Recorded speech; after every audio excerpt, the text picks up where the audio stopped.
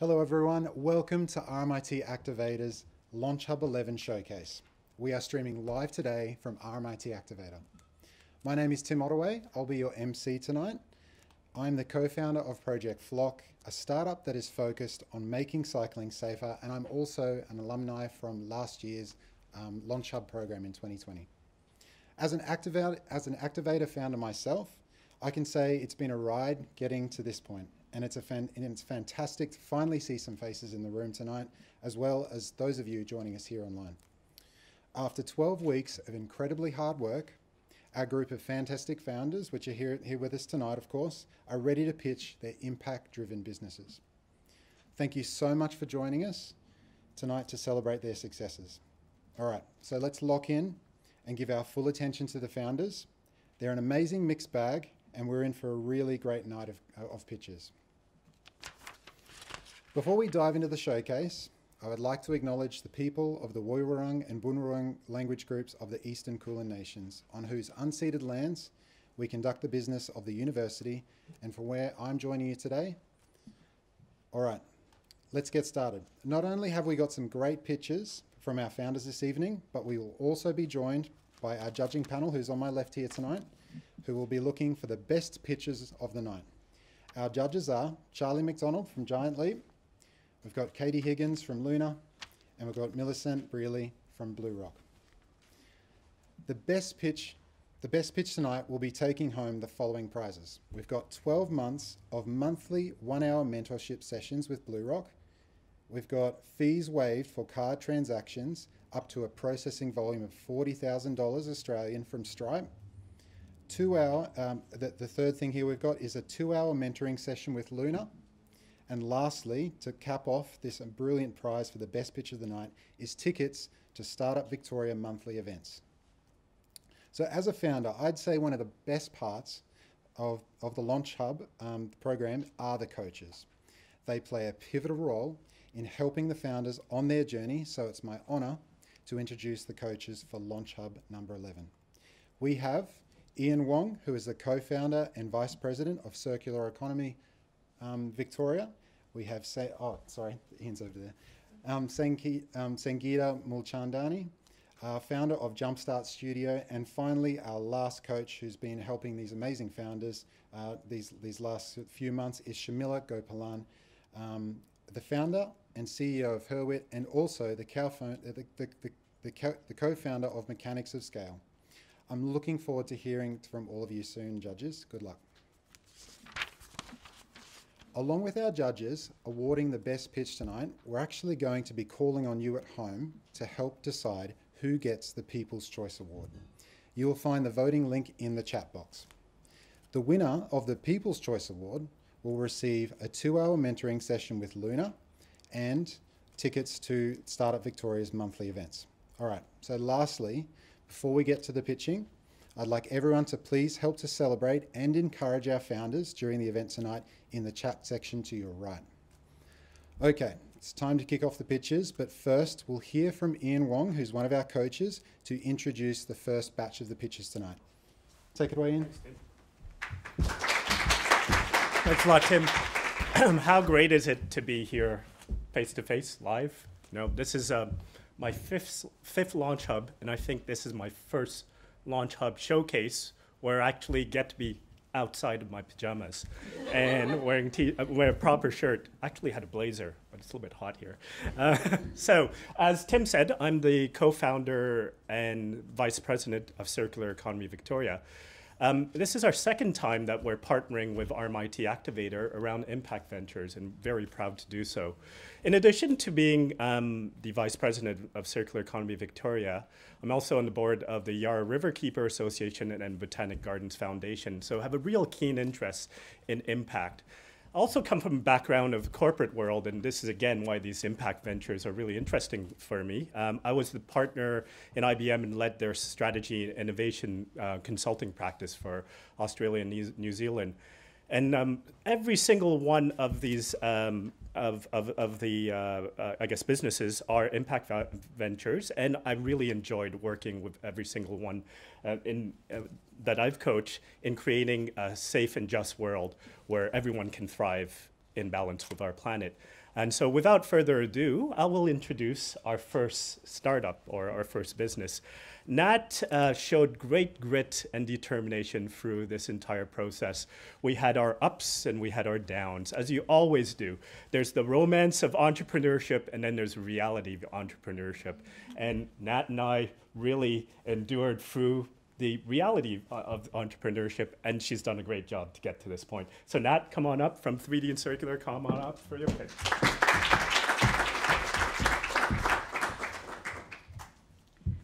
When I was five years old, I used to go to a local fashion factory where my nonna worked and help her. And as a reward, I would get a box of scraps, pre consumer waste that was swept off the cutting room floor. It was then, and I'd make doll outfits, and it was then that my obsession with pre consumer textile waste started. So, fast forward 40 years. My son asked me for money for a skin, and kind of thought, what is he talking about? So I realised that I, he wanted me to dress his virtual avatar. So that got me thinking why in fashion do we not have uh, 3D prototyping as best practice as in architecture or automotive? Six, six million tonnes of pre consumer textile waste from fashion industry goes to landfill globally 35% of material is lost in the sampling and cutting and production of garments. 4% of global greenhouse emissions come from the fashion industry. That makes it the second largest polluter. And today, eco conscious consumers are demanding that we create fashion brands that create sustainable, more sustainable garments. The 3D circular and platform delivers values and systems evolution, starting with phase one, a 3D and circular education platform which will provide knowledge to organisations to educate their workforce about 3D prototyping and circular economy. This will help them transition to net zero and reduce costs. The 3D and circular platform, sorry, will reduce waste, ena enable onshoring, and aid net zero transition and create local jobs. The 3D circular platform, three revenue streams are phase one, education revenue, which will be based on per course fee. Phase two, a 3D circular microfactory revenue um, based on cost per sample, per garment, and per microfactory licensed. And in phase three, a 3D circular network revenue um, based on a global online platform subscription.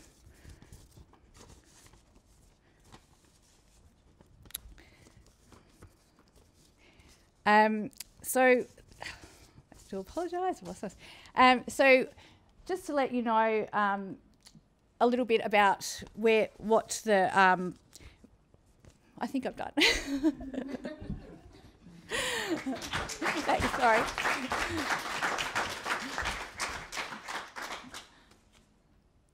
Uh, thanks, Nat. I'm happy to kick off. Um, so, if I'm understanding correctly, there's a, there's a, a element here around the 3D modeling and then enabling the clothing manufacturers to use those 3D models to to make clothes that are both um, more sustainably designed but also fit fit for purpose. Is that is that kind of correct? Yes. So basically, up to 15 samples can be made when sampling a garment. So in the production process or design and development process. Um, so it's eliminating the pre-consumer samples um, from prototyping to pre-production samples, but then it's also helping optimize patterns. So it's actually taking away, um, you know, help going to a more zero waste. So that jacket there, that's a zero waste jacket. That was our prototype we took to NGV Melbourne Design Week, um, in which we used dead stock fabric and we were able to actually create a garment without any waste at all and go straight to production. Fantastic. And how do you intend to find the um, the retailers that are interested in in purchasing these kinds of products? Sure. We just went through the process of applying for CBIC, um, in which we had um, we approached 50 different companies.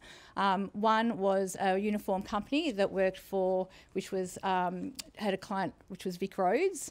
So um, we, we're looking for local manufacturers to work with um, because we see that's where the value is. Um, we also see this platform as being able to onshore manufacturing here in Australia. Fantastic. Thanks. That was great. Well done. Thank you. Um, I'm keen to learn a little bit about you and if there's anyone else on your team that's helping you. Yes, uh, well, this is the journey that we went through. um, so I started the activator with a partner. She's a 3D um, designer.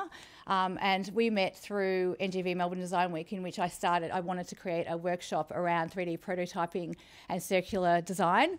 Um, and so it was from that we actually realised there's an opportunity. So we've been working with clients in Melbourne. We've already got um, five clients that we work with.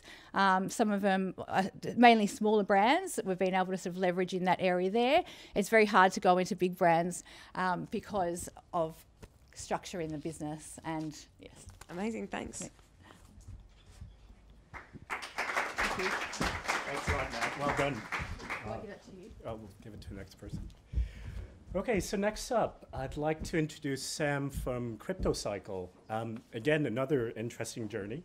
And I really enjoyed her structured and focused approach to the way she immersed herself in a particular industry. At first, we start looking at solving the world's problem and realize that's not how you start a business. You actually start a business by being very focused. So, um, Sam, come up and uh, pitch and tell us about the story. Thanks a lot.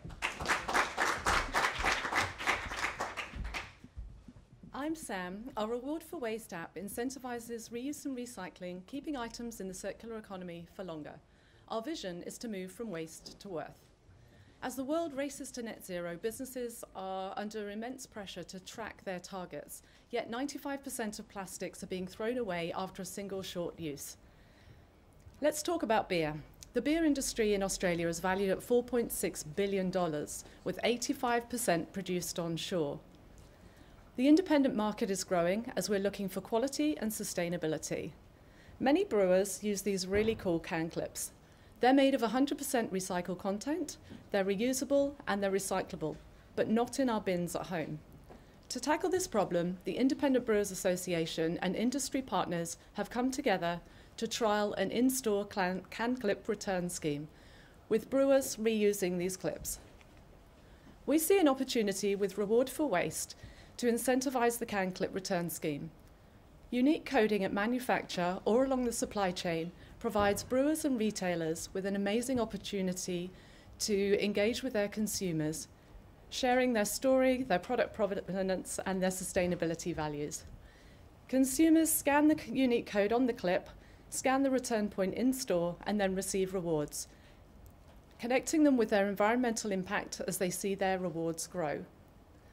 Reuse is tracked with AI and green blockchain technology, bringing traceability, transparency, and immutability, building trust and dispelling concerns around greenwashing.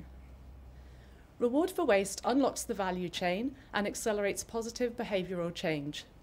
Our B2B revenue model has three parts. The scheme owner funds IT development, consultancy, and passes on a transaction fee. Refurbished clips are sold to brewers at a reduced cost, and then we're looking at a subscription model to provide data insights. App downloads lead to engagement, which leads to more clips being returned, reducing the cost for brewers. Every clip reused saves on saves um, on energy and resources, um, and reduces waste and CO2. With RMIT, we've validated our market entry point and we've uh, validated our product market fit by speaking with major retailers, brewers, and consumers. With 75% of consumers saying they would return packaging back to store if they're incentivized to do so. Our next steps are to look to do a feasibility trial and then to scale and then to run a full implementation of the scheme with multiple brewers across multiple states. There's amazing growth opportunity. Any item that can be coded can be brought to life with reward for waste. If you'd like to know more, we'd love to get in touch with you, either here or in the UK. Thank you.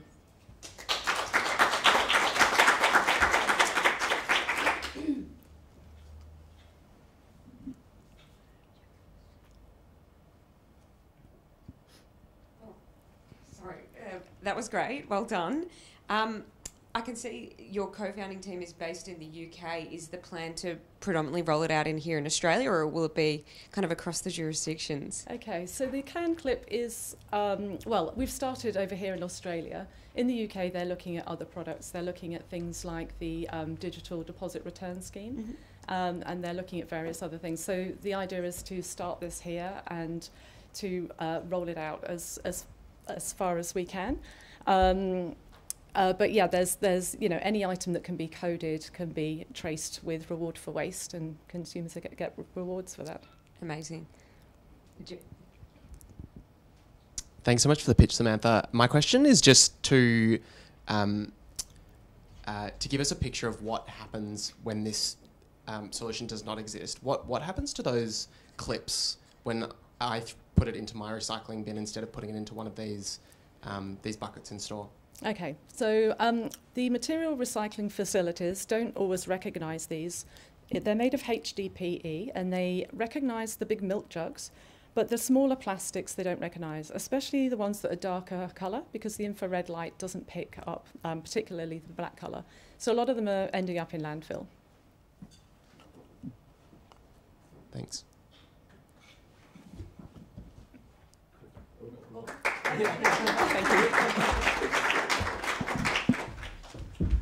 Thanks a lot, Sam. That was great. Hey, next up, I'd like to introduce Zaida from La Guapa. Um, so, with her, I got to exercise my interest in luxury fashion, and that's always a great exercise. Um, and um, really enjoyed our conversation around sustainable fashion and ethical fashion, and it's a really important uh, cause. So, um, and we need more businesses in that area. So, uh, how about you come up and give us our, your pitch?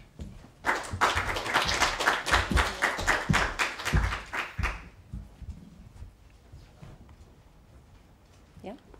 Oh, hi, my name is Zaida, and I am the co-founder of La Guapa Outwear. I am a fashion designer, and I am super passionate about sustainability.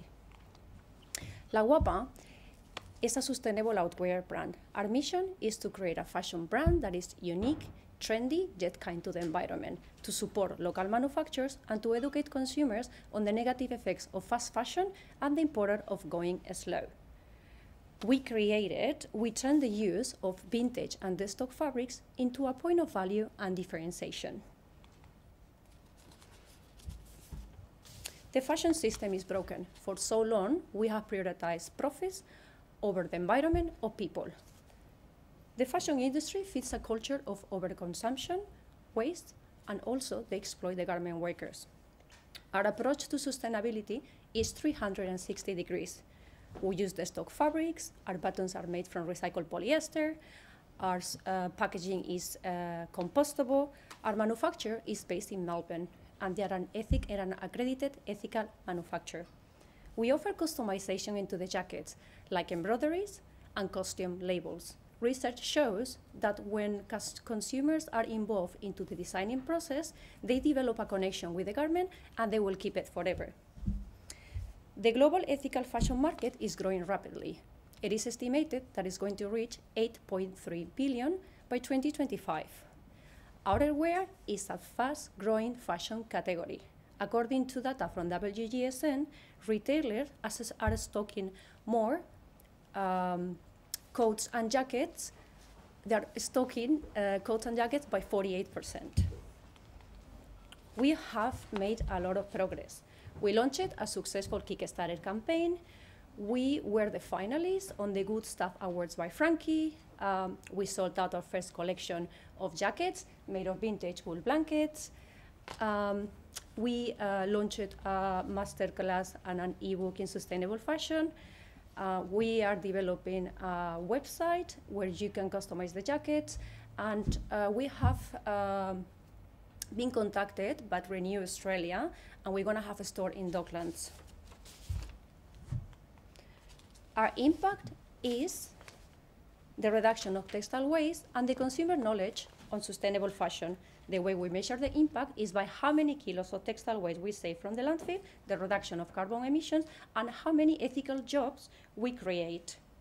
Our goal is that by 2025, we will save 400 kilos of textile waste, we will create 20 ethical jobs, and we will become 100% carbon neutral. Our expected annual revenue will be 2,160,000 Australian dollars. Please help us create a change. Wear the change, wear la guapa.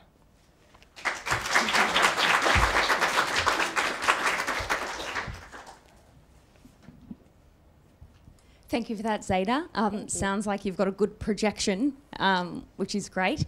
Uh, I guess I just wanted to ask about um, your reusing or recycling um, polyester and textile waste. Yeah. In terms of the circular economy of that, I guess eventually we don't want any of that waste out there. Yeah. Um, so, how will once we remove that waste in the economy, how will um, the brand continue? Okay, so in a perfect world, I think we should phase out uh, totally uh, polyester because they're microplastic, because they're carbon intensive, it just needs to go out. So right now, I am trying to use natural materials, like for example, the um, blankets are made of uh, vintage, uh, they're made of wool. And yes, I think uh, the best solution will be to phase out polyester and just start using natural fibers. Right. Thank you. Thank you. Thanks so much, Zaida. Um, it's such a beautiful jacket. I w- want to get up there and wear it. Um, Thank you. the, the, the question I have is that there are so many um, there are so many individual brands coming into the sustainability space.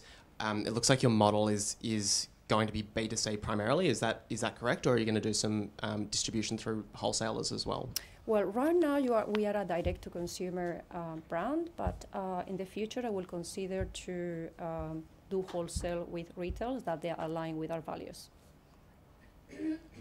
Fantastic. And um, with the, I saw you had a collection sold out. Congratulations on that. That must be a good feeling.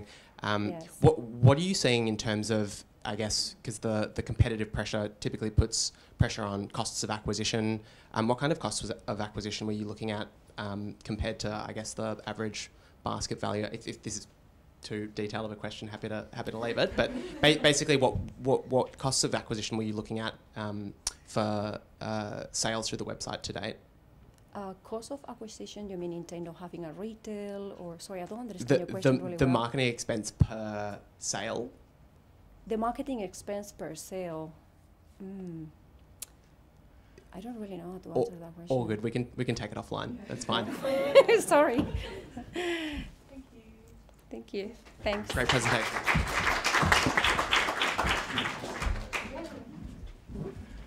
Thanks a lot, Zaida. Um, so last of the uh, startups that I or businesses that I coached is Biophilic Soundscape. Um, we have a shared passion. So Nadine and I have a shared passion for ecological restoration, and a lot of our conversations was, let's try to find the commercial value proposition because we know the solution definitely has an ecological um, impact. So Nadine, how about you come up and explain this startup to us?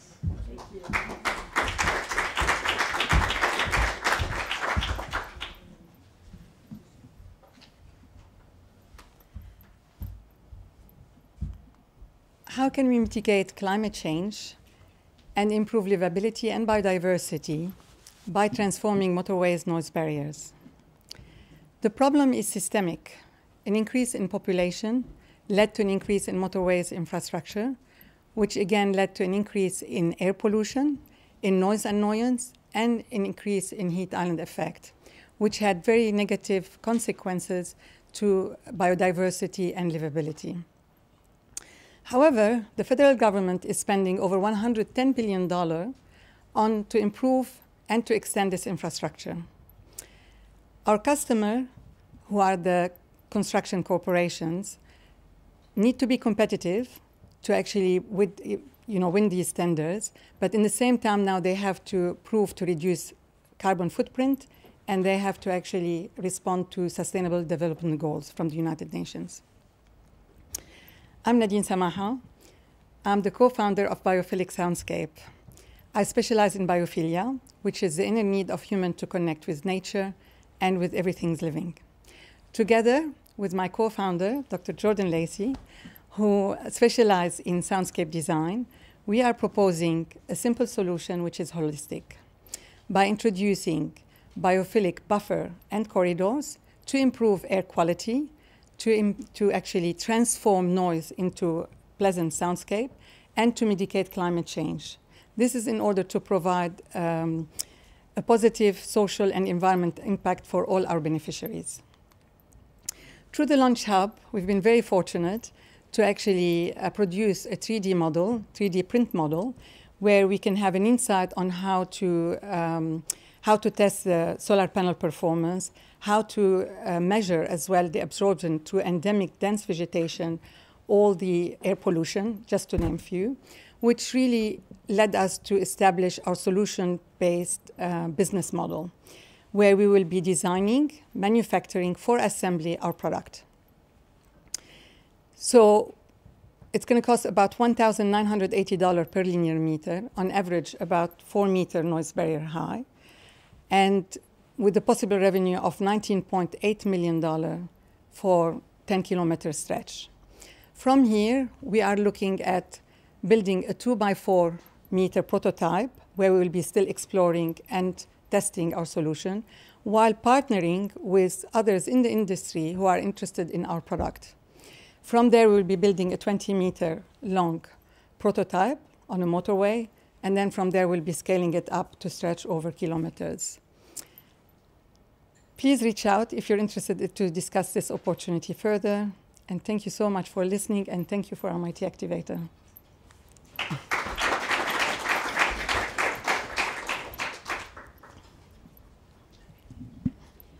Thank you for that. That I'm sure that it will look amazing. I just had a few quick questions that might just be for my own interest. But will the walls require much maintenance? And um, I just wasn't sure. Are the plants real plants? Uh, they are real plants, and they've been picked up today from my walk, and they're all indigenous. So oh, amazing. yeah, so, so that's why they've been able to hold up till now.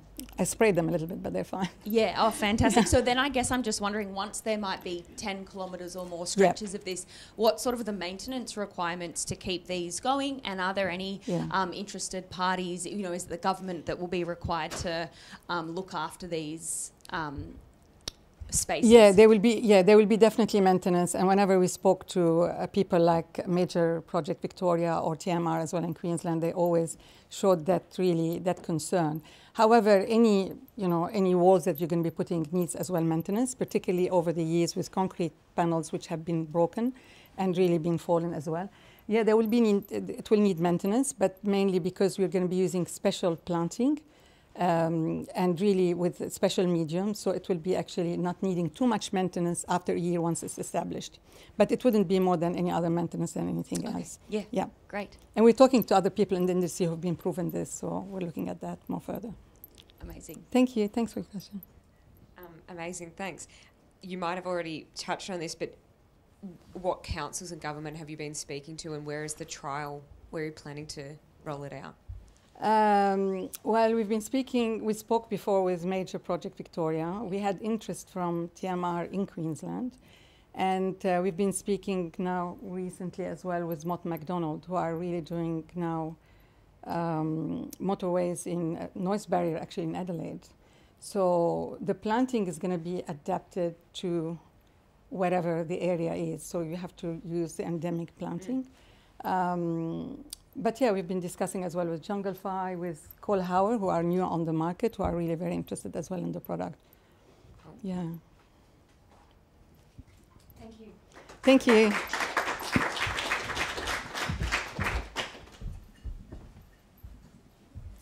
Awesome. Thank you to the founder for those fantastic pictures. It's incredibly difficult coming out of COVID to, to sort of jump up on the stage here and, uh, and do stuff face to face and and also live uh, streaming to the internet. So, really great job to those those first batch of founders. We've still got some more pictures to come, but um, first, just a little bit more info. This is the 11th Launch Hub cohort for, that's come through the RMIT Activator and it's themed around, if you haven't already picked up on it, it's themed around impact ventures. The successful co-found, uh, the, success, the successful founders were chosen for their startup's potential to make a change in the world with ideas based around emerging technologies like blockchain, uh, maximizing social well-being, and new, uh, new approaches to support COVID-19 recovery, and much more. And to tell you a bit more about Launch Hub and RMIT Activator, I would like to welcome Matt Celia, Director of RMIT Activator, who unfortunately couldn't make it here tonight, but we have him uh, speaking from home. Wominjeka, everyone. Hi, Matt here, Director of RMIT Activator. I'm a bit bummed I can't be with you there in person tonight. So I'm coming to you from the land of the Kaurna people over here in Adelaide, and I'd like to pay my respects to those elders past, present, and emerging. Well, all the border opening and the testing matrices and just plain life busyness being what they are, I'm just not able to be there with you tonight in person. But we know there's a great showcase. We've already seen part of it, and I can't wait for the next part. I'm really looking forward to seeing how far all of our wonderful startups and founders have come. Activator is really the entrepreneurial beating heart of RMIT, and we're here having spent a lot of time this year refining all of our programs, something we felt was really important at this stage of our own startup journey. Activator has been around for nearly five years now, and look out, listen for our birthday party plans in 2022. You're all invited, and for over three years in Vietnam. And being the heart of innovation, entrepreneurship, creativity, we really take um, that seriously. It takes focus to keep keep hard on that. We help students, staff, and alumni create startups, connect to the university to industry, and in everything we do, we strive to create the most entrepreneurial talent across all disciplines of the university from the founder and startup programs like Launch Hub tonight through the rich array of experiences we deliver students in accredited courses while they study, it's all about changing behaviour at scale, embedding entrepreneurial thinking across the whole university and ultimately our broader community. So, we're really excited about the cross pollination of these experiences and how the serendipity of connections and the collisions of ideas can lead to some incredibly special opportunities. And thank goodness we're able to do it back in person again, at least in the main. So we're here to talk about Launch Hub tonight, and most importantly, here to talk about the amazing founders and startups from the first of whom you've just uh, just seen from. The theme of Impact Ventures is something really close to my heart. I think having the ability to bring the full power, the weight of the university's uh, capabilities to drive impact to ventures and founders that really want to address some of the biggest challenges in the world is a really meaningful endeavor. And I'm, I'm so excited to see the cohort of amazing people uh, here tonight. 75% female founders, and we've got people from their 20s to their 80s. You know, many of them have validated their ideas through customer reviews. They've built partnerships both in RMIT and outside of it, and they've also developed prototypes and MVPs. For some, this is including growing their revenue and building out their customer base. So, exactly what we want to see from what we think is a pretty stellar pre accelerator in Launch Hub. Of course, uh, a program like this has a lot of people to thank. It takes a lot of moving parts. And of course, from the brilliant coaches and facilitators, Ian, Shamila, and Sangeeta, we, we couldn't do it without you once more. To our supporters and partners from Circular Economy Victoria, from Blue Rock, from Luna, Startup Studio, from Cake Equity, AWS startups, and our own internal legal team led by Beck Torp, all these people and all these organizations make what you see tonight come to life. Our Activator Capital Board, who will be having the difficult job in a few weeks of uh, listening to the pitches and, and thinking about the, the allocation of grants. Caitlin, Derek, Adam, Leonard, Kate, you've all been more involved in this program, and I'm keen to keep an eye on these pitches tonight uh, so that you really have a sense of where these guys have come from and where they're potentially going. To the talent facilitators and delivery team in my own team in Activator, Juan and Eugenia, you've guided the teams through the past 12 plus weeks. And of course, that's an incredibly, um, incredibly tough job, but you've done it so well and always with a smile. Of course, the rest of the Activator team, and especially our marketing and events and logistics team that made tonight happen, led by Steph's steady and calm hand, you've brought the program together really well and excited to, to see it coming to life as a team, we're absolutely committed to pushing the boundaries of what's possible and helping those emerging entrepreneurs like these founders to do the same, growing and leading the industries of the future. We can only begin to imagine. Our next Launch Hub program is now open, so please feel free to spread the message far and wide so you know we're very keen to see that same diverse group of founders come through. We'd love for you to forward it on to anyone you think might benefit from being part of this Launch Hub experience. And finally, tonight, I wanted to highlight something that we're really excited about. We're calling for applications for our first micro accelerator, which is made possible by the Jac Nasser Innovation Fund. Now, Jac was an RMIT alum. He's all, he was the CEO of BHP as well as the CEO of the Ford Motor Company in, in the US. So, you know, fairly quiet achiever. But he's generally given, given, generously given funds for a range of activities we've used in the past, from boot camps for students and hackathons and scholarships. But over the last nine months, we've worked with him to reshape that into a really catalytic grant program. $15,000, four $15,000 grants a year, entirely equity free, open to all RMIT student, staff, and alumni who are developing those impact businesses, those businesses that want to change the world. Jac himself is personally passionate about that and is really excited to see what's possible. So the program's now open. Please have a look and once again, share widely and, and see if this program might even be for you. Well, that's it from me. Have a wonderful night. I'm disappointed I can't be there with you tonight, especially for the post pitch party drinks, but I'm really excited about all the startups we're seeing. Back to another one of our amazing founders, and now our, our, our erstwhile MC, Tim. Thanks, Tim. Take it away. Thanks, Matt. All right, we're now ready to get into the next round of the pitches that we're holding here tonight. Just a reminder to please keep the comments coming in in the chat and help cheer on our, co- uh, our founders tonight. Also, remember to keep track of your favourite pitch tonight so they can go into the draw for the People's Choice Award, which is chosen by you at home. Next up, we have one of our awesome coaches, Sangeeta, to induce our next batch of founders pitching tonight. Thanks, Sangeeta. Thank you. Hi, everybody. Um, my name is Sangeeta Mulchandani, and I'm the founder of Jumpstart Studio. At Jumpstart Studio, I help corporate professionals become entrepreneurs and become first time founders, help them transition smoothly into this great world of entrepreneurship.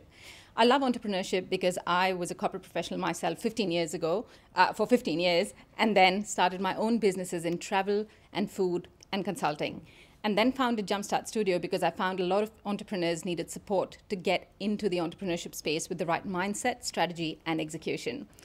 I'm here at Launch Hub today for the first time as a founder, as a coach, because I love working with founders. And for me, entrepreneurs are people who are creators. They're the ones who have the power to change the world. And that's exactly what the next four businesses that I introduced to you are doing today. The first business that I want to introduce to you is called Billy Bubbles. And the founder is William Sheldon. William is an amazing, amazing customer centric founder. He's probably the one customer a customer centric founder that I've ever seen in my life who goes above and beyond. And that is the secret to his success. So, introducing William Sheldon from Billy Bubbles.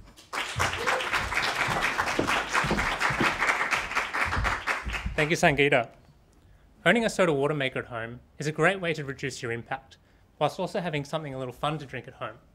But if you've ever run out of gas, you'll know how difficult it is to get a refill. The vision for Billy Bubbles is to bring circular services into every household in Australia. The problem with that, though, is that customers often find it too difficult to use circular services because often the experience relies too heavily on the customer. My aim is to change that, and to prove that I can change that, I've started with Billy Bubbles.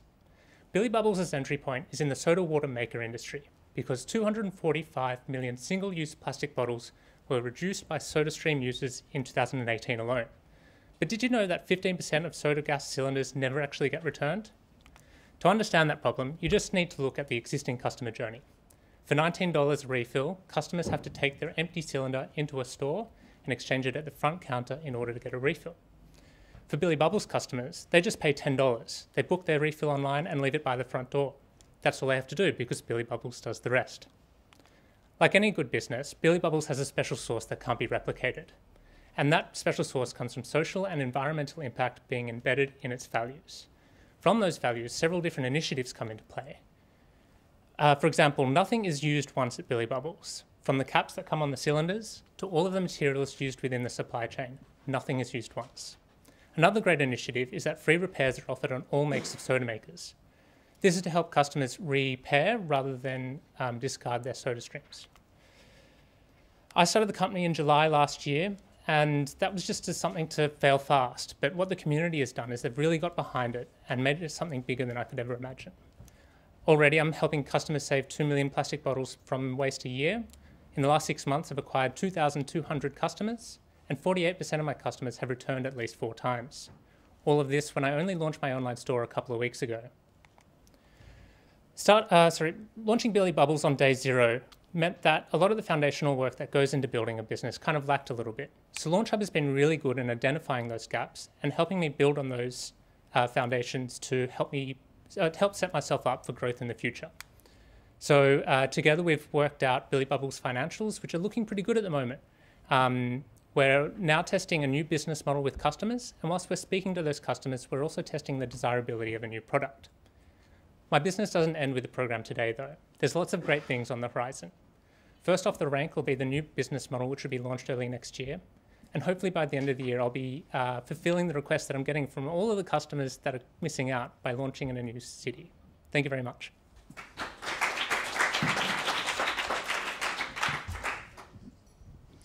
Thank you so much, William. That's right. Um, it looks really good. One quick question I had. So it looks like um, with the market testing or the traction that you've got through the program is about um, 48%. I guess I'm I'm just wondering, like, how quickly does the refill work? Like, if I'm thinking if I was to use it myself, I've Mhm. put my empty bottle out the front. What's the turnaround time to get the Yep. refill? Um, so I'm delivering in the inner suburbs of Melbourne four nights a week. Um, so that's just to keep the keep the logistics small whilst I'm still in my infancy, um, and then that'll be expanding to hopefully be five days a week um, in the near future. Oh, great. So pretty much as, as you start to run low, pop them out the front, book book in the Yeah, yeah, yeah, and certainly. it happens maybe overnight or Yeah, yeah, same same day. So um, Same you day can you can book an, an hour before the delivery run. Oh, okay. Yeah. Great. Thank Great. you. No worries. Uh, thanks so much. Well, Yep. my question is around the so th- this this is um, an additional service to the SodaStream trend. I'm just Mhm. interested to know um, a little bit more about how big the um, so the penetration of SodaStream Mhm. is in Australia. Do you have any insight Mhm. into into kind of how popular this is? How It's many kind people of- actually have it- a SodaStream? It's a very difficult question because it is, uh, you know, completely monopolized by SodaStream. It's a private company that um, I don't have the the um, the figures to look at that kind of market. Um, but I'm just delivering in the inner suburbs of Melbourne. I've already got so many customers already, so it's looking very healthy. Yeah, it's amazing traction so far. Yeah, Congrats. thank you. Um, amazing. And uh, forgive my ignorance, I've never had a soda stream before. Yes. Is it that you're just targeting SodaStream as a brand at the moment, or is the plan to launch into other? Um, yeah, so the, the technology or the, the cylinders work in all brands of uh, soda water makers. Uh, SodaStream's just the pr- predominant competitor. And in how many are there out there in Australia? The, the uh, yeah, a handful. Yeah. Uh, in terms of companies that make the actual machines themselves. Cool. Perfect. Thank you.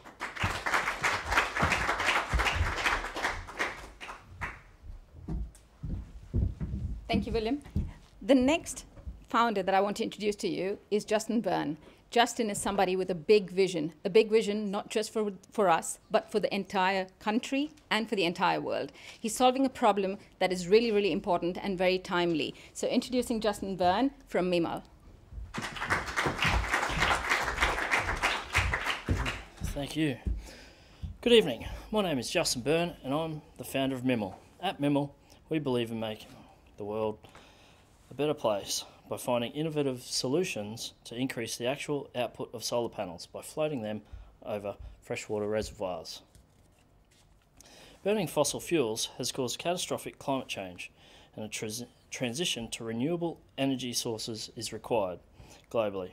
When solar panels collect the sun's rays and converts them into electrical energy, they are not always efficient due to a number of factors. Did you know that Australia's land based solar farms miss almost $440 million of revenue each year?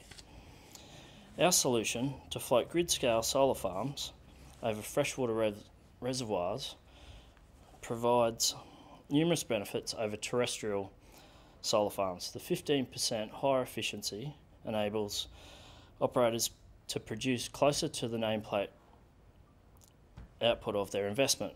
For an average 100 megawatt installation, this would represent about $10 million of revenue each year. For floating solar, also reduces evaporation from our precious water resources by up to 9%. It reduces capital infrastructure, land acquisition, and biodiversity offset costs. The shading effect can also protect the water bodies and their inhabitants from increased temperature of global warming. Floating solar has the additional benefit of being able to convert electrical energy directly into green hydrogen at the source. Green hydrogen is a transportable energy dense replacement for liquid hydrocarbons, whose only outputs after combustion is water. With greater hydrogen technology, it is hoped that it can be utilised for heating, cooking, transport, heavy industries like steel production and aviation. At Mimal, we hope to create and build an efficient solar energy capture solution with the ability to power the grid, store energy, and transfer to clean green hydrogen. We also believe that the future can look exciting and fun. Through the Launch Hub program, I've learnt the hard way in forging a new and nascent technological idea through the startup arena. It is now my goal to further advance these beachheads through consultation and design to gain support through local government and industry leaders. If you too have a unique power and like to solve problems, please get in touch.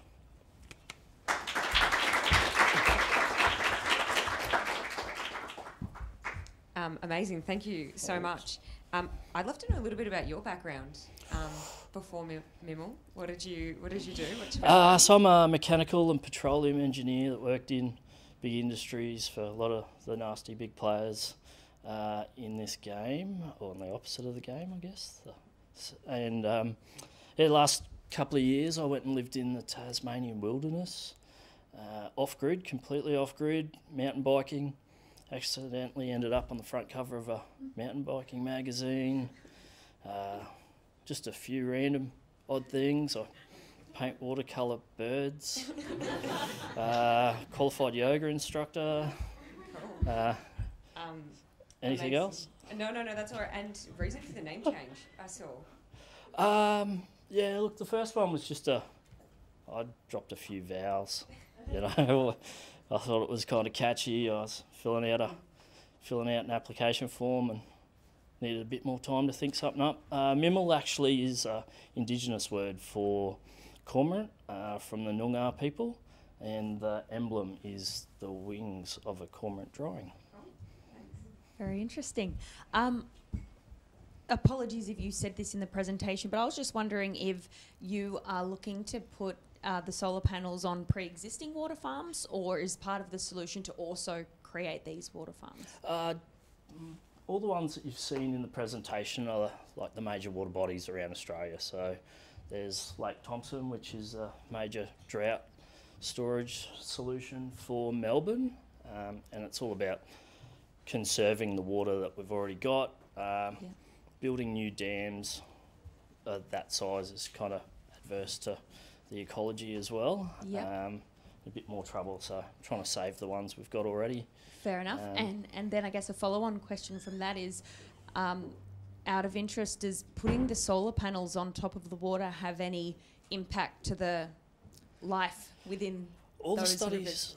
I don't, sorry to cut you off. There. Um, all the studies to date show that there is no adverse uh, effects, and there's a number of reports going. They're looking into so the shading actually keeps the temperature of the water body from increasing a few degrees. So they're hoping that by putting these on, it's actually going to save those minute things that people kind of haven't studied yet. Uh, I'm from North Queensland originally, so I've got a suspicion that Barramundi would love these sort of things to Yeah. uh, to hatch and hunt around. So Yeah. Okay. I'm and then in terms of access for the mammals on the shore. uh, I actually my design is to keep birds off it so that they Oh. don't reduce the efficiency. But mammals, uh, I don't know if there's too many that will make it out there. Okay. Thank you.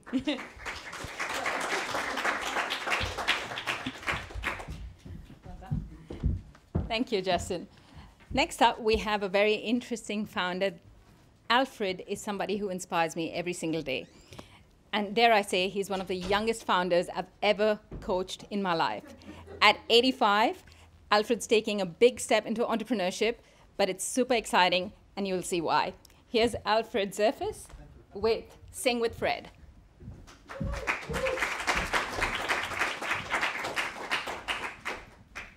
Exaggerating. I'm actually 86. uh, uh, it's gone. Oh, here we are. Yeah. Imagine, imagine all those people. Imagine your elders who are going to be 85 or more at some time, or people you know. You know they have a third of a chance of becoming demented, and it's a huge cost to Australia almost $30 billion in care costs, uh, and 170,000 uh, people uh, over 85 have dementia of some sort.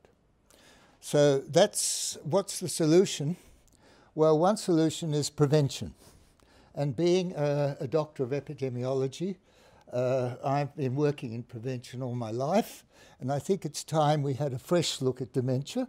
And the prevention is to stimulate memory and social contact. And I'll give you a story about my best friend uh, who was in a nursing home, demented. And I asked the person in charge, What do I do? He said, Talk about the old times. So I did that. And he was glum, sitting on the table doing nothing. When I mentioned about the times we had in London, some 50, he jumped up and started eating. So that's the basis of my, uh, my company, Sing with Fred. It started off actually singing Oh, there's, there's me with the, the first group, actually. In fact, I met 12 of them at lunch today. So I got a verbal okay, but not, not a survey. Uh, one was a, uh, runs a, uh, is on the um, company of a care home, uh, one of the chairs. Anyway, this started with singing, and I had some Zooms about a year ago, but I realized, and I congratulate RMIT and the judges in six weeks, because they said, look, it's great, but you're not going anywhere. And then my best friend and my mentor suggested an app. So I figured it's not just the singing that's important, it's the connection. And in, my, in the case of my friend, I didn't have to sing to him, it was just the visual connection through audio. So basically, Sing with Fred has, has, con- has continued to be all types of entry points uh, all five senses, even the crunch of your foot on leaves, can bring back a happy memory. So I'm bringing all those five senses, but only one transmission, audio. Because if you go down the street, you see everyone, what are they doing on their phones? Uh, they're listening or talking.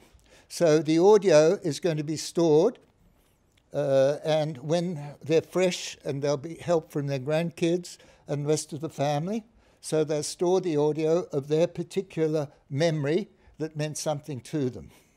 And uh, we've designed an app.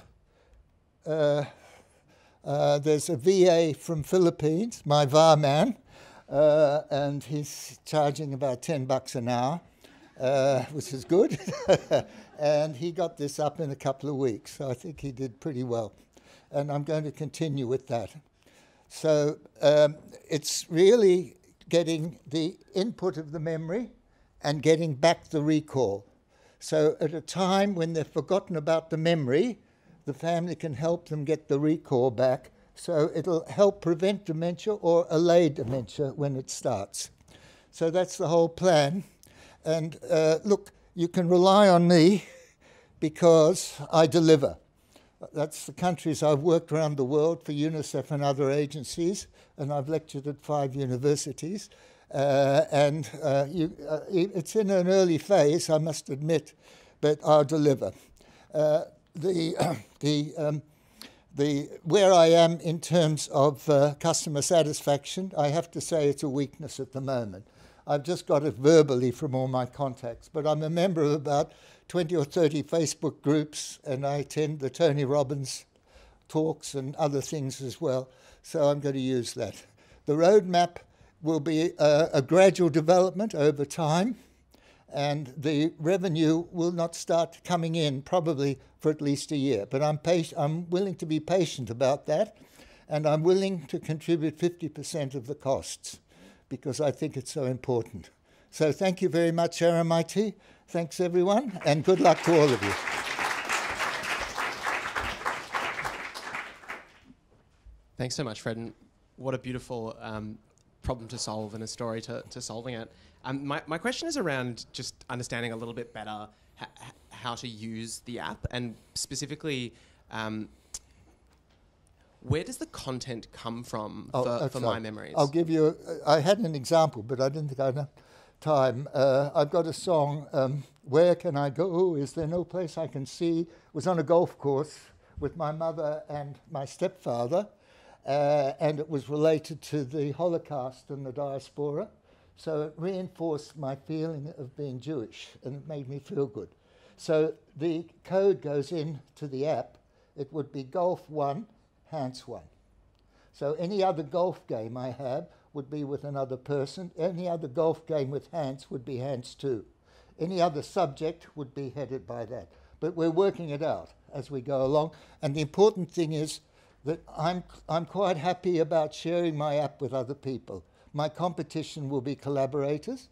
And there's a huge study going on at Melbourne University with uh, uh, Felicity Baker on this t- same subject. So I'm willing to uh, contact everyone I can. Amazing, thanks. Thank you.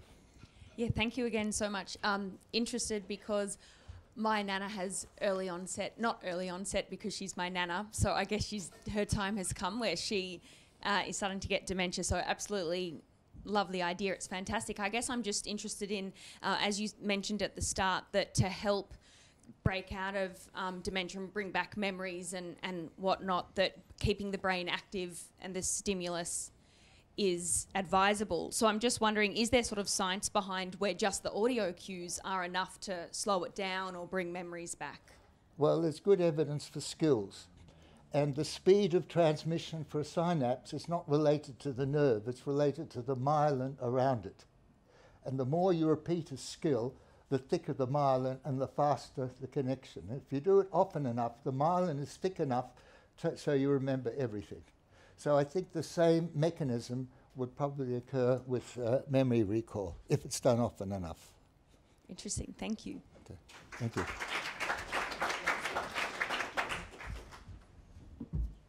Thank you, Alfred. N- Next up is Jackie. Jackie comes from a team of four amazing gamers, and they have a vision to change how you experience your city.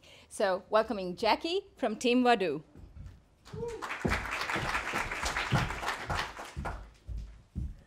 Oh, hi everyone. So, I would like you to think back to the day when you realized that we were getting out of lockdown. How did you feel? Excited? Nervous? Anxious? Well, I know I was really excited to finally be able to see my family and friends again, but I was also somewhat very anxious because it's been so long since I've been out in the city and about. And I know I'm not alone because lockdown has resulted in a 20% decrease in the movement in Melbourne CBD and a $2.1 billion drop in the Melbourne's nighttime economy. There's also one in three Australian, young Australians, sorry, that experienced high psychological stress in 2021. So the question is this How might we encourage young professionals to re engage and rediscover with what Melbourne has to offer? Imagine you're just finishing work in the CBD and you want to explore more, but you don't know what to do. How cool would it be if you could actually explore the, and discover the city in a form of a game? With that, I bring you Wadu. Wadu presents you with missions that introduces you to activities and places that you've never, you might have never seen or heard before. For example, you're just around the corner in Chinatown and you see a mission that you need to go and visit the Chinese Museum. By completing this mission, you can earn points which then can be claimed for other rewards and activities. But don't worry, if missions aren't for you, you can still use Wadu to explore and discover what's happening around you at the moment. We believe that Wadu would drive social inclusion, promote healthy well-being, support thousands of jobs back into the city, and make Melbourne Melbourne again.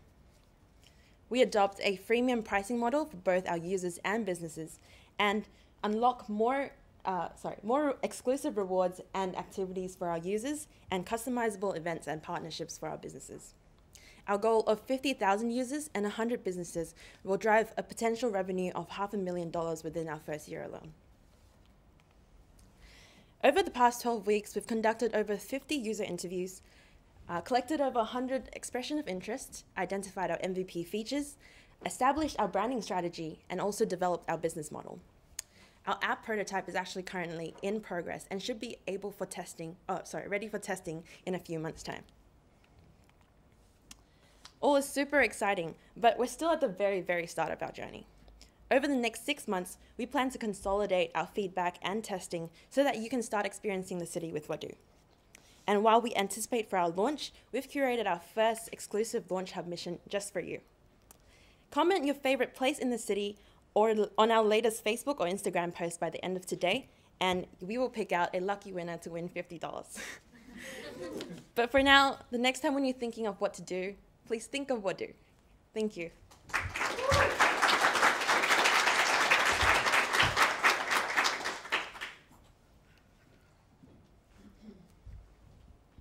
Amazing, thanks. It's like Pokemon Go um, Exactly. for the city. I love it. Um, you, I, I'm keen to know a little bit more about the premium features versus just um, regular use. What do you get with the premium features? Yeah, so essentially what we plan is that we're trying to include a lot of gamification. And with gamification, when you pay a little bit extra, you you'll just unlock a little bit more rewards and all that um, extra gamification in like in-game stuff that may actually engage your gaming experience even more. So we're thinking of maybe rewards like discounts that you can get with certain businesses, and that's where we kind of tie in the businesses to come in, and their premium um, model will be helping us to engage this um, rewards section to give back to our users. And yeah, that's essentially um, what we've got so far, but hoping down the track when we discover more and testing with our users, we'll be able to bring more things in. Um, I just have one other question. Was there a reason why there was a limit with the target market to just young professionals as opposed to just regular phone users? You've, Yeah. Um, well, the idea is that we want to uh, narrow our target down to begin with. Um, and we are all young professionals at the moment, just graduated out of uni. And um, really, I think the, the reason why we came up with this idea is because there was this one time that we had dinner and then afterwards we were just thinking like what can we do and what to do and even with google we're still unable to find anything so we realized that a lot of the people in our cohort are very similar to that and we want to start targeting this cohort but down the track as more people come in that we definitely would want to expand our target market Um, great presentation. Thank you. love love the Pokemon Go um, gamification. Um, my question is is around kind of the tr- the thinking behind the business model. So Yeah, so sure. um, I guess there, there's it seems like there could be incredible value from the amount of people using this app, particularly as you gather data for organisations like Tourism Victoria. I, I- I think would be um, incredibly interested in, in in this, but that would occur at kind of volume. So so interested to understand the thinking that you went the f- the freemium model for users rather than focusing on kind of the referral revenue from businesses and potentially data revenue from other institutions that would be interested. Yeah, um, I think definitely these are things that we haven't really like explored. But I think the first direct thing is the freemium model that we want to ex- uh, explore with the users because I think us team we are gamers ourselves, and as direct consumers, there are there is a business model that actually allows us to pay a little bit more just so that we can get a, a whole lot of um, I think rewards as as a result. And um, I think yeah. First, we want to test this one, and I think that's a very good point, and we might actually consider it for our future. But thank you. Amazing. Thank you. Thank you, Jackie. Thank you, everybody, for listening to my four amazing teams. And next up, we've got our amazing coach, Shamila Gopalan, to take you through her teams.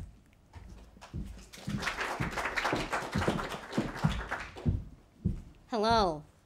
I'm very excited to be here. Um, again, this is my third cohort with RMIT. Um, I have to say, I have enjoyed this cohort the most. Please don't hate me, the rest of you. Um, but uh, it's been it's been an amazing journey through COVID, through this pandemic. Um, just to give you a bit of background about me, for those who don't know me, I am the CEO and founder of Herwit and the co-founder of Mechanics of Scale, and I run a podcast called Unapologetically Brown. I'm sure you can guess what we talk about. Um, with Herwit and Mechanics of Scale, my mission really is to empower and help underrepresented founders specifically female founders. So, having four amazing female founders to coach this time around is a dream come true. Um, these four founders have had startups or are starting to have their startups across very different segments from food waste to blockchain and NFT, which is the future. And if none of you guys are on it, get on it. Um, as well as mu- music, which brings me back to my previous career in entertainment and media for 20 years. So it, it's that was a joy, and of course around a very strong cause um, where it's around autism. So my first startup is Nat from Forkful. Nat has been a pleasure to work with. She is insightful uh, as well as extremely knowledgeable, uh, knowledgeable about the area that she's going to pitch about, which is hospitality, food waste, and F&B.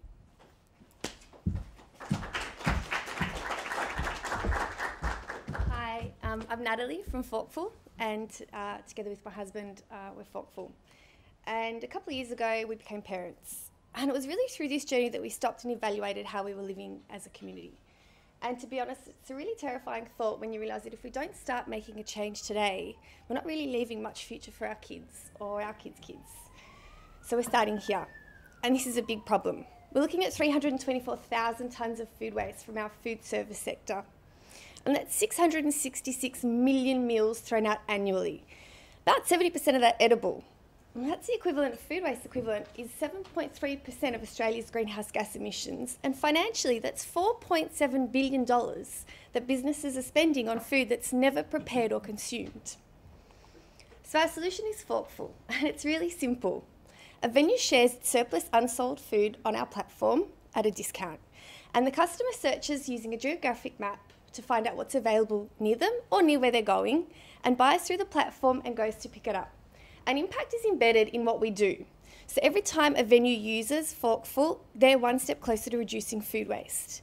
And we make environmentalism easy for customers because every time they use our platform, they're having an impact. And together, these two contribute to an overall broader community change.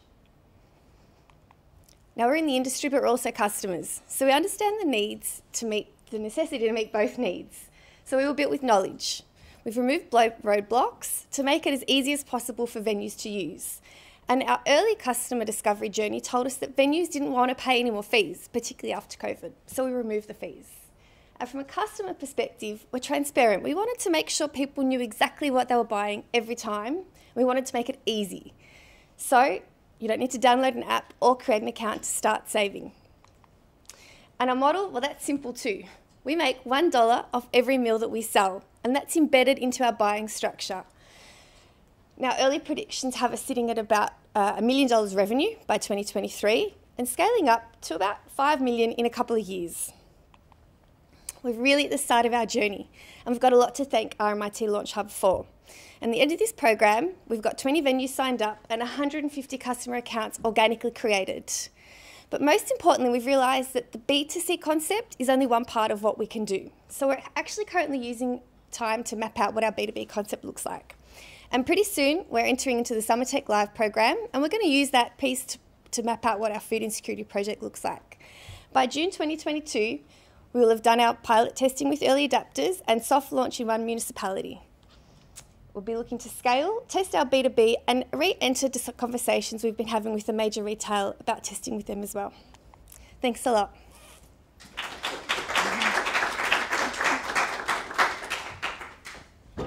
Thank you, Nat. That's um, okay. Looks like a great idea. Just a few things for my own clarification. Uh, I guess I'm just wondering if I was to say, oh, I haven't got anything for dinner tonight, yep. rather than go to the supermarket, let me jump onto Forkful, see what's available. Um, I guess, can you, within the app, look at something that's nearby? I'm also interested in the traction of people knowing that I can't just go to my supermarket where everything's just there, everything yep. that I need. Sort of what is that traction of people being happy to just go and grab kind of some leftovers and see what they can do in terms yep. of having a meal for yeah, night. of course. So um, we used for, for we we used overseas models when we were living overseas, um, and looking at them, they sold over 100 million meals. So in terms of traction from a user base, you know, I used it myself, so I understood why how it worked and why it worked. Um, would I use it here? Absolutely, and that was why we, you know we're bringing that same concept here. So it is definitely maybe you know might be three o'clock. You look online, you think, oh God, I haven't got anything for dinner. I work in the city. I'm going to see what's available. Or hey, I'm going home to Northcote. Let me see what's available on the way home. Um, and you buy it and pick it up within an allocated time frame from the venue. Great. And then I, I'm just wondering, uh, with the venues that are on the app, yeah. If people, if they don't get rid of everything that night, is this sort of one day waste only, or it can yeah, that's, carry on for the yeah, that's an interesting concept, and that's one that we're kind of looking at. What happens to that food that doesn't get sold, and is there someone that we can partner with? You know, there's some really good food recoveries that can turn food waste into other types, of so compost, for example, or what can we do in that? And that's a bit of our, our build, and, and what do we do, and how do we partner with someone that's already working in that space? Um, you know, I have a friend who owns a restaurant, and, and last time I went in, sorry, he gave me a box of asparagus, and I said, what are you doing this for? He goes, oh, we don't have asparagus on our menu anymore. And I said, but you could turn that into maybe an asparagus risotto and put it on forkful. Mm-hmm. So it's also about changing a bit of behaviour for people. Yeah. Great. Oh, thank you. Okay.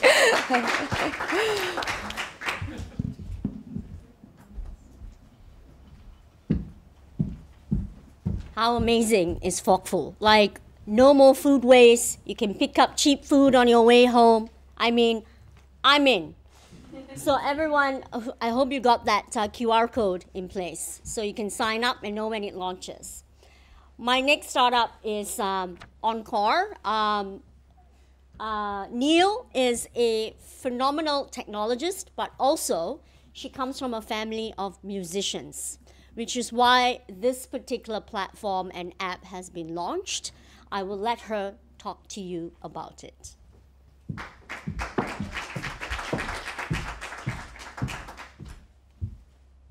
Hi, I'm Neil, co founder Encore, a social impact marketplace that connects musicians with new audiences and enables users to gift musical experiences anywhere in the world. Think of us as Airbnb of the musical industry. The hero of our story is Miguel. Miguel is a talented but struggling musician. Um, during COVID, he had no gigs at all. Even after COVID, he was struggling to find paid opportunities.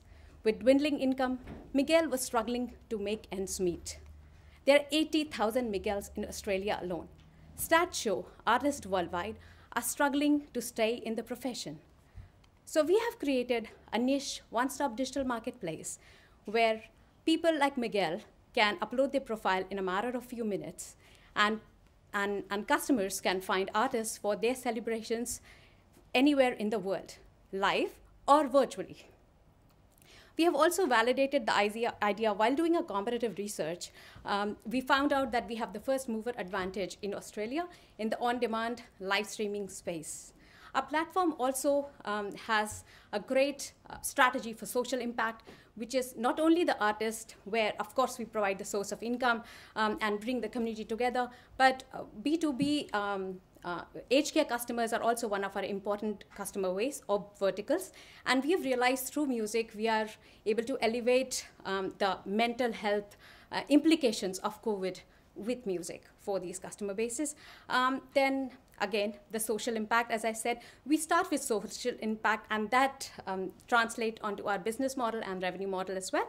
Um, it, the platform is absolutely free for artists, um, and we have 22% per transaction for the end customers. We are moving into a model in which um, we will have subscription-led business model for our B2B and B2G customers, as well as a small subscription for value-added services we offer to our clients. Uh, our end game is to get into augmented reality, and our major source of revenue um, is um, planned to be the ad revenue and the tickets and sponsorships. Traction and roadmap. Um, ever since we joined RMIT, we have, um, you know, uh, had 100 plus RS signed up. Are still onboarding. Uh, today morning, we got a B2B um, booking for our customers, which means 16 plus artists will be playing first week of December, and we have generated uh, some sort of income for these artists as well. Um, our early validation has been achieved already from city uh, councils and HCI customers, and we have launched our MVP this week itself. Um, and going forward, we want to um, validate our MVP, get the product market fit, revenue model fit right, correct. If there are any changes needs to be done, release new features so that we can optimize the customer experience, and then focus on the experience-led technology. Um, so um, the, the, last bit that I want to um, add here is our vision is to change how Australia experiences the live music industry, and we can unturn the damage which has been done by COVID in this particular industry. Thank you.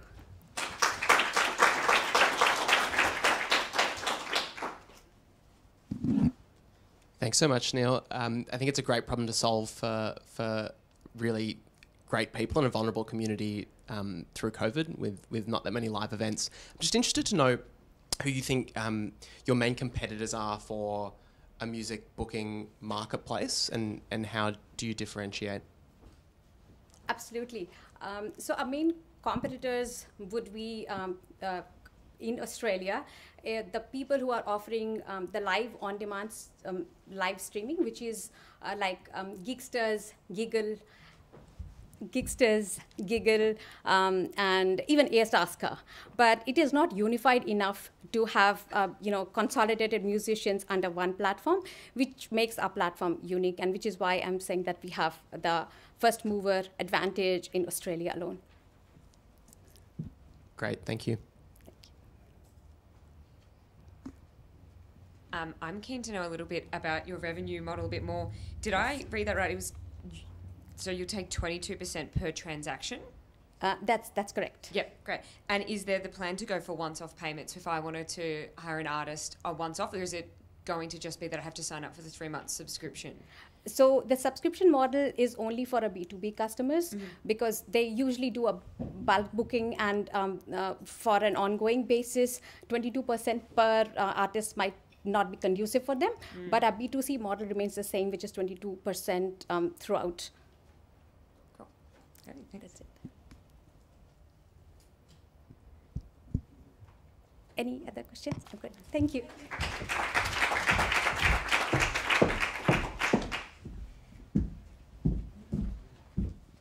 I think Neil just literally solved my wedding band problem right there. Um, my next startup is amazing. Sonia, her background is accounting. She's she's an accountant, but she from the time I met her at the beginning of RMIT till now, she ha- she is inspiring. She's going to be talking to you about blockchain and NFTs. How exciting is that? And she has I have seen her grow from the time she started, from where she was to what she's going to present to you today, and it's very very exciting. Sonia, take it away.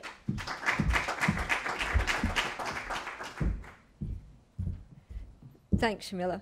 Hi, I'm Sonia from Mount Token. Do you think this is theft?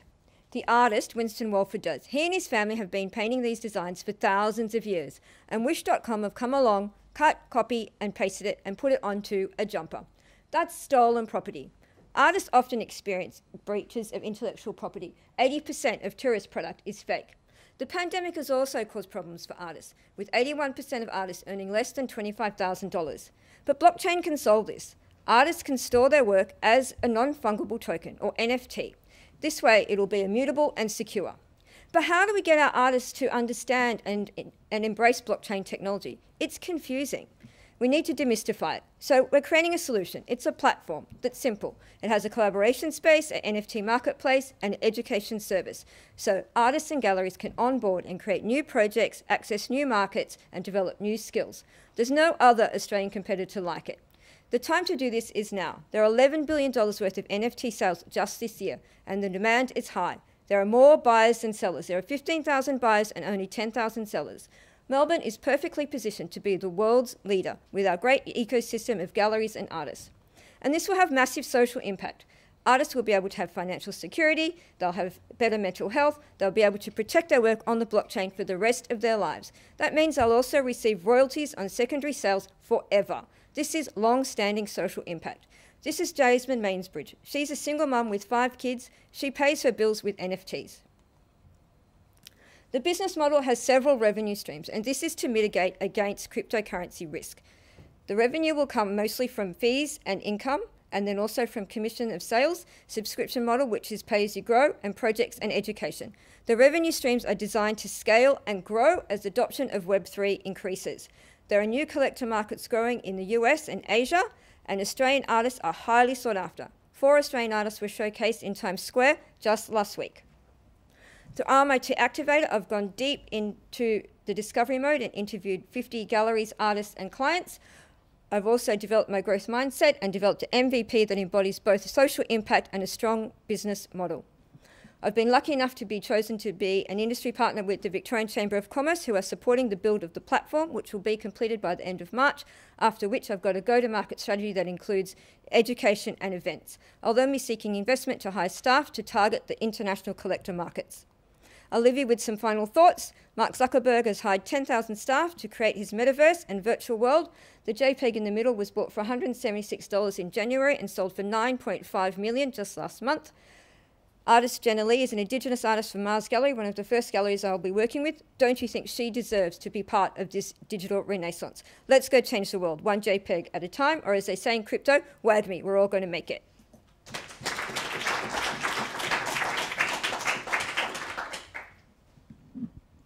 Thank you so much, Sonia. Um, very interesting space. Also new to myself. Okay. Um, I guess I just wanted to clarify that is there less risk of a company such as Wish taking this IP and putting images from artists' work onto their clothing because of the fact that it is um, trademarked as an NFT? I'm probably using the wrong terminology, but as soon as that becomes an NFT, does that risk is now removed of what is currently happening still happening? Yeah, pretty much. I mean, basically, the IP will be protected. It's on the blockchain, so it's undisputable. It's immutable. Mm-hmm. So any design, it's there. Everyone can see it. It's completely transparent, so everywhere around the world can see that that particular file owns is owned by that person. Got it. Excellent. Um, excellent. So I guess essentially for the artists, it becomes a new revenue stream for them that they jump onto the platform uh, and can create design, yep. or they've already got images that they can turn into NFTs, uh, and it's a new revenue stream for otherwise what they might be selling as hard copy physical work. Yeah, exactly, precisely that. Great, thank you. Yeah, it's such an interesting use of this technology, and thanks so much for presenting it. I'm, I'm interested to know your opinion on kind of what is driving the um, the shift towards, um, as, as Millicent point, pointed out, the, the shift towards using NFTs to verify this. Is it primar- primarily going to be regulation driven and enabling um, IP lawyers to, to very easily identify the, the link between artist and end product, or is it going to be more consumer driven or a combination of both? I think it's actually both. Uh, what we're finding now is that there is definitely a cultural shift. Like it used to be this culture definitely with Web 2, which is right click save if you want an image you just save it or download it or whatever, and then you can just reproduce it wherever you like. I think now with Web3, people stop. They think, oh, well, actually, people will know that I've stolen that image because they can see it's owned by someone else. So definitely it's cultural and it will be across the board and it will happen within the next 10 years. Absolutely, 100%. Amazing. Thanks. okay. You're welcome.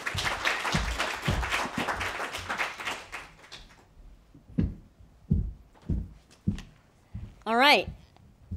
My next um, startup founder is Michelle. She might be the last, but not the least. Michelle has actually inspired me. Um, she comes with a startup based on her very own lived experience, and it's really touching a segment of the market that is close to a lot of people's heart and probably not being focused on, um, you know, and not being given enough attention to. I'll let Michelle tell you all about it.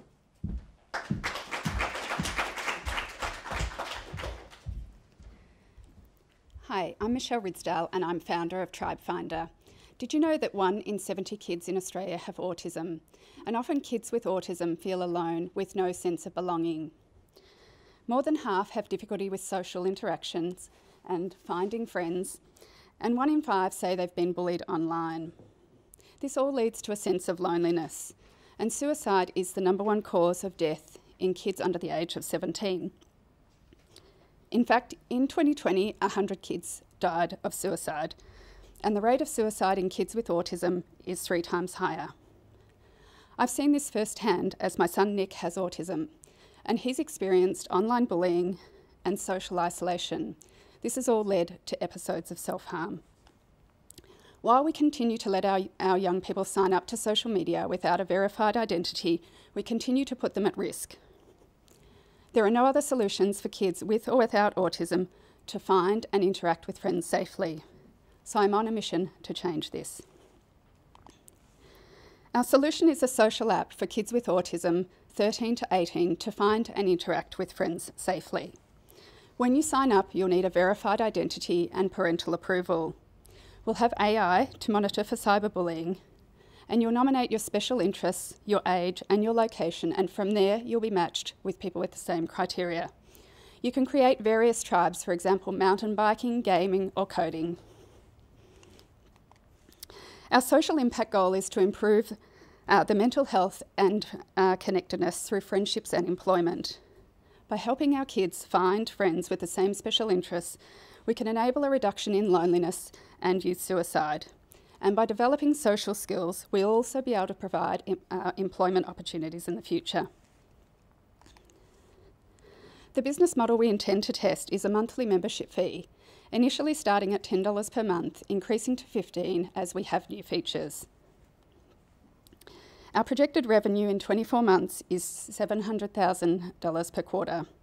Parents I've spoken to have said they can't wait for the app to be released and would pay anything to keep their kids safe online.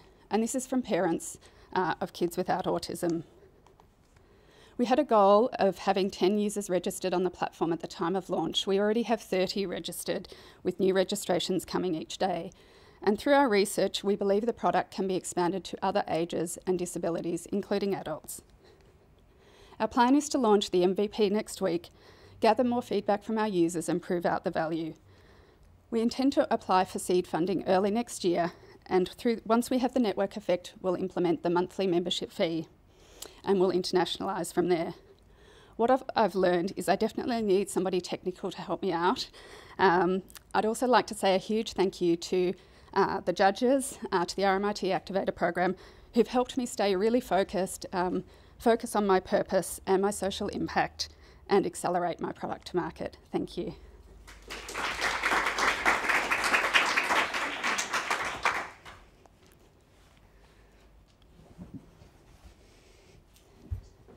that was amazing. Thank I particularly like that your 2023 goal was to slay. Um, I think you're already doing that. It was great. Um, I'm really interested. You, you've got on there to do um, some pre-seed funding. Where do you envision? Oh, how much do you plan on raising an estimate, and where do you plan on spending that money? Yeah, we are, we've got an MVP ready to launch, uh, but it is really very basic. So we'll need funding to build out a lot of the security, which is our key feature, uh, also the matching. Uh, so at the moment, we've got 30 users who are sort of spread around Australia actually, but we need a little bit more uh, technology. And we also plan to integrate with uh, Utopia, which is an AI solution um, to help with the cyberbullying. Uh, so we'll, we'll need to raise funds, you know, to, to kind of build the next version. I know a few investors already um, through my network because I've worked in tech for over 10 years as a, a CPO, so I'm just trying to tap into those at the moment. Amazing. Thank you. Yeah, amazing platform. Thanks so much for the presentation. Um, my question is around. Um, it seems like this is a really great tool for connecting people in a community with, with one another. Yes. Um, and my question is once you've made those connections, um, how do you retain people on the platform paying that monthly fee once they've found a couple of people in their community? Yeah, look, I, I think, you know, like any friendship group, you know, you're often looking for somebody to do something different with. So, uh, so by creating tribes, whether it's, you know, going for a mountain bike ride with somebody in your local area or, you know, playing games, um, you're always kind of looking for those new people. Um, and so, and we'll also have some other features in the app as well around uh, teaching kids social skills and those sorts of things that, um, and build out the features in, in that way. Fantastic. Thanks. No worries, thank you.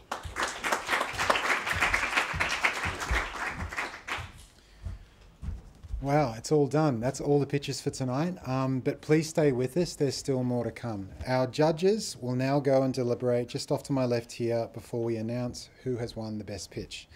But that's not all because we need your help at home. In the meantime, the People's Choice Award um, voting is still open. Make sure you vote for your favourite startup up at, um, up at the link in the chat box to your right. It's going to go. It's going to be closing in a few minutes. What an impressive cohort! It's going to be tough to choose who takes our honours in the awards tonight. Um, before we announce our winners, I would like to invite Eugenia to the stage. She is our Community and Startup Coordinator at RMIT Activator, and she will talk about the next Launch Hub cohort and the, all the upcoming events that RMIT, Activ RMIT Activator is going to have.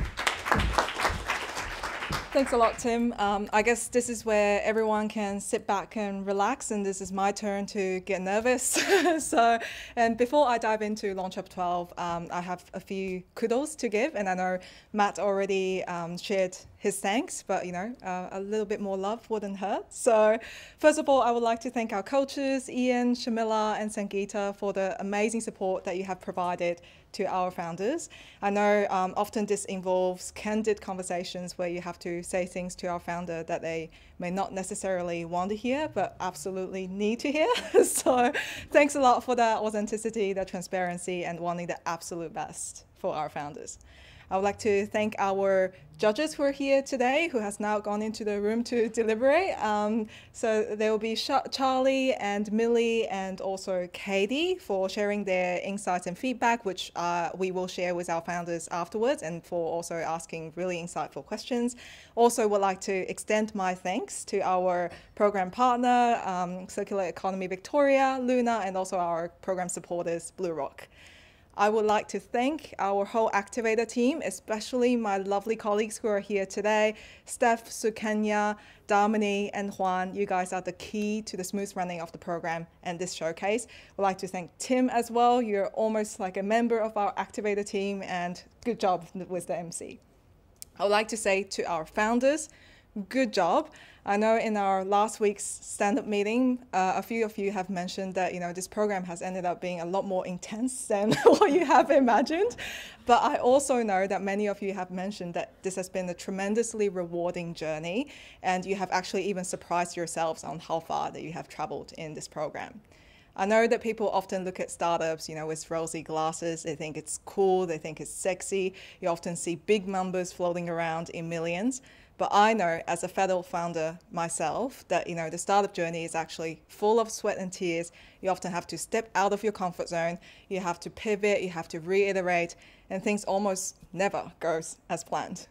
So that's why here, before we announce the judges for ton- uh, the judges, sorry, the, the prizes, the winners for tonight, I would like to say to you that every single one of you tonight is a winner for what you have achieved in the last 12 weeks, and also for all the challenges and obstacles that you have overcome during the program, which have now transformed you. So please give yourselves a big round of applause. and last but not least, Launch Hub 12 application is now open. And once again, we're supporting impact, social impact ventures. We have lots of exciting opportunities available in growth, mentorship, and also funding. The application link will be in the chat box now. So please, once you click on the link, you'll find out everything about the program and don't hesitate to apply or share with people around you whom you think might benefit from the program. So that's it from me. I think I've held the suspense long enough now. Um, I'll back to the Tim to announce the winners. Yeah, we have it ready. We've got one winner ready. Ooh, yeah. awesome. So, thanks, Eugenia. All right, so we have some results. Um, the moment I can hear the judges just in one of the other rooms there, just still deciding on who is going to be the winner of the best pitch of the night. However, I do have the results for the People's Choice Award. Thank you so much for voting at home. Um, while you're watching the live stream tonight. We had an outstanding number of votes come through for the People's Choice Award, and well done to all the founders once again. But the winner for the uh, for the People's Choice Award is Wadu. Congratulations.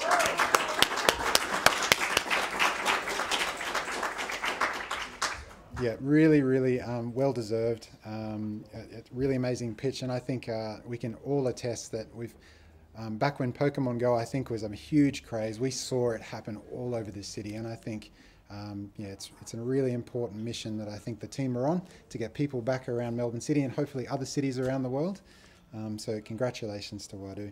Um, we still have the judges uh, deliber- deliberating on who is going to win the best pitch of the night. I think I can hear them coming through soon, but um, as you can see, there's been some really, really amazing pitches, and I think some businesses already getting some runs on the board. Um, but I'm just going to take the time as we kind of still have the judges just deliberating. Oh, they're just coming back through now. Just be one second.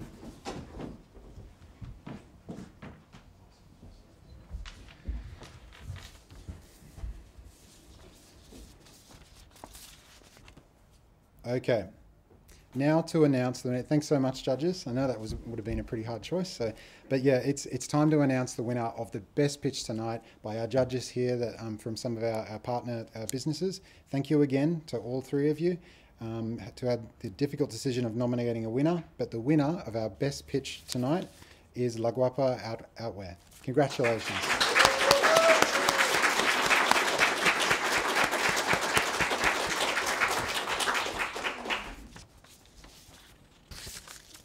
Awesome. All right, I'm just got to find where I'm at. so that's it for the prizes. It's on to um, closing uh, tonight's event.